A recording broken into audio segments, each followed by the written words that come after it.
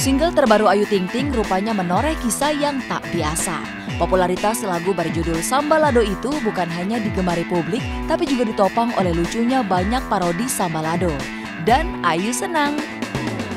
Banyak yang parodiin lagu uh, Sambalado gitu, berarti banyak yang senang lagunya.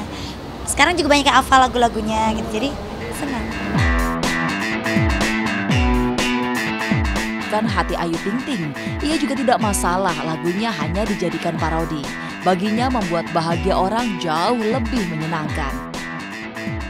Orang senang selagi orang bahagia silakan aja.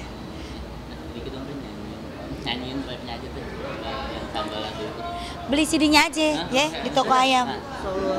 Ini rencananya mau dibawain nggak